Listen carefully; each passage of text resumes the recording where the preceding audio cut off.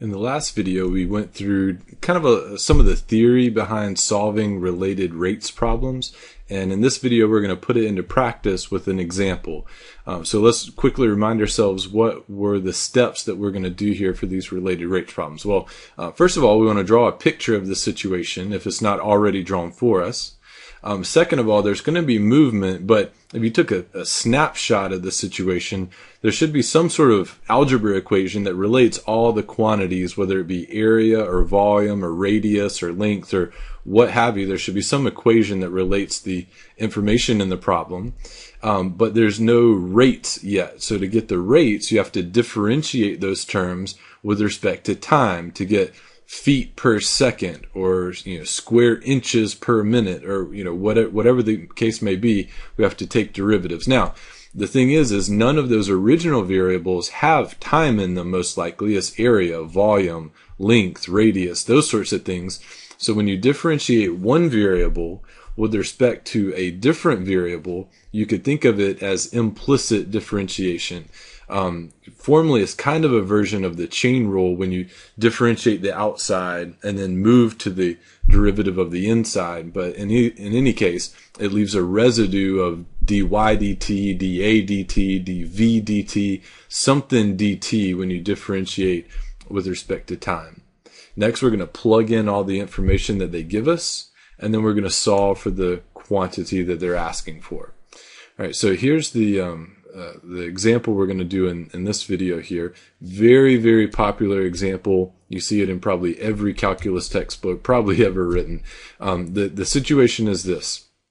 You have a ladder that's leaning against the wall of a house, right? Um, now that creates a, a very nice right triangle with a hypotenuse and, and two legs.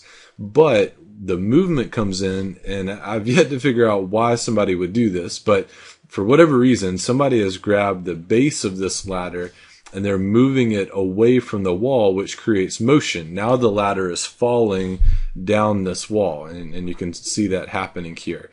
They will give you information like the length of the ladder, and they'll give you information like how fast is somebody pulling the base of the ladder away from the wall, from the base of the wall. And then they'll ask you a question, something like this. They'll say, what's the rate of vertical change of the ladder down the wall? So what's this guy's rate uh, at a particular moment in time, such as when the base is specifically nine feet away.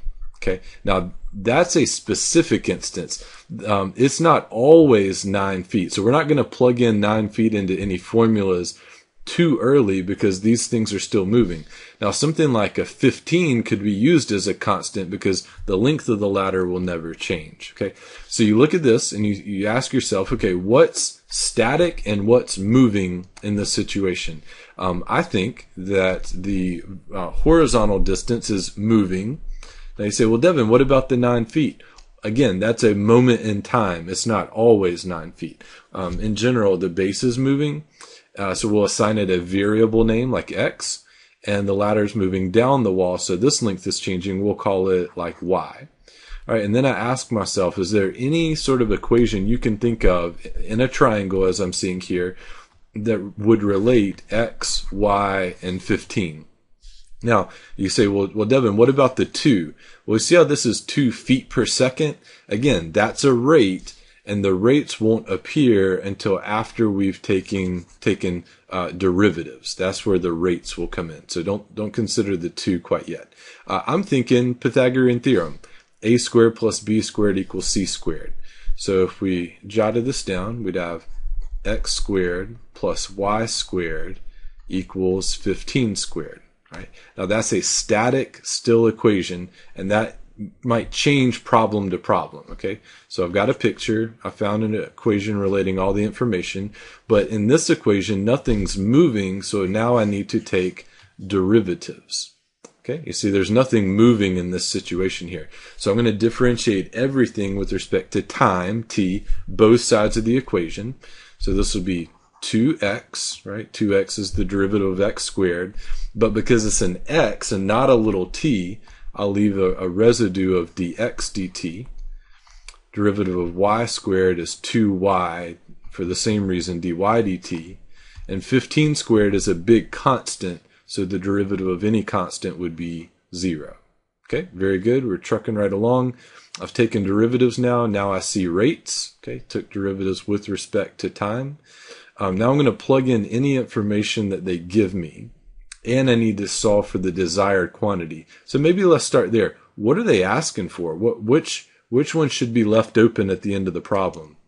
I want to find the rate of vertical change. So here's a hint. Anytime you see the word rate of change, it will always mean you're looking for uh, something dt because that's feet per second or inches per second. Those are rates. The x's and the y's are not rates. Right, now, which one of those two that I just highlighted is the rate of vertical change down the uh, of the ladder down the wall? Well, the vertical distance is y, so we're probably looking for dy dt, which means I should be able to find or I should be given everything else. So let's examine the picture and see see what we have.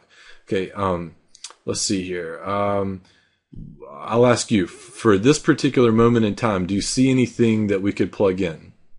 Hopefully, the first thing you saw is this nine feet away. Nine feet away. The base is nine feet away.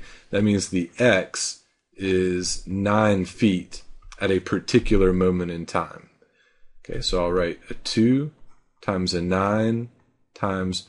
All right, now what's dx dt? What's the rate of change in x? Uh, hopefully, you, you would say that this is has something to do with the two feet per second, right? Because um, that's a rate dealing with horizontal movement.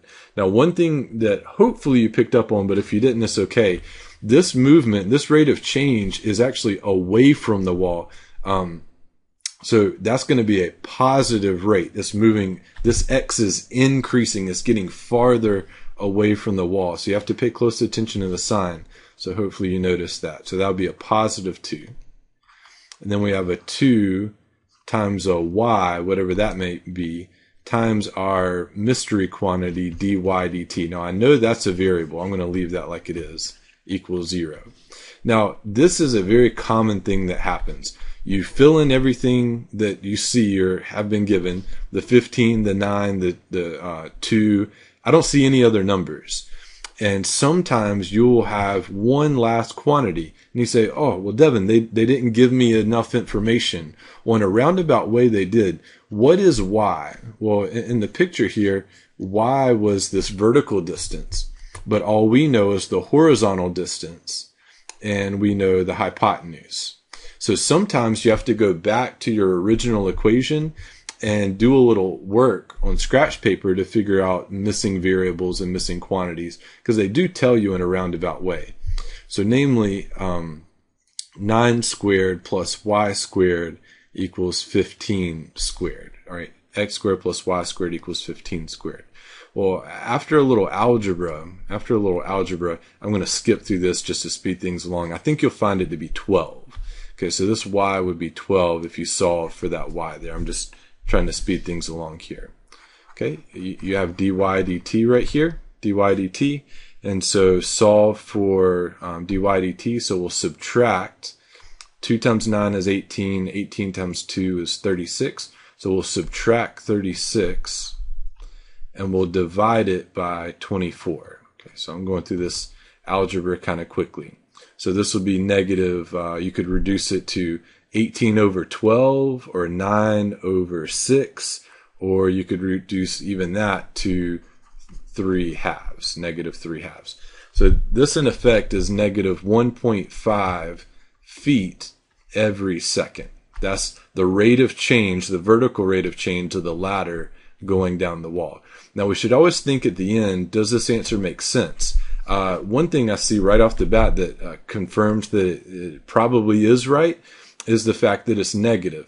Do you see how this distance y here is decreasing? This ladder is falling down the wall. So I expected my answer to be a negative quantity. That that didn't surprise me. Um, now, don't think that just because this is two feet per second, this rate also has to be two feet per second. Um, those angles aren't 45 degrees. There's um, you, know, you might have to think about it for a minute, but there's no real reason that these rates should match perfectly like this. But you can see that they are kind of close. Two feet per second out, one and a half feet per second moving down the wall. So this is a very typical example in closing. Um, every uh, uh, every one of these problems is different, but you'll start to see some consistency in the setup and execution of these problems. One last time, what do you do? You read the problem, you draw a picture, you find your static equation, the thing that's not moving. You take derivatives to get your d blank dt's. That's the rates. That's the movement you plug in your quantities, and you solve for what's missing. Um, next time you might be looking for the change in area or the change in volume or the change in uh, radius distance or could be totally different situation, balloons or uh, just filling buckets with water or troughs with water. Um, but the process is still very similar.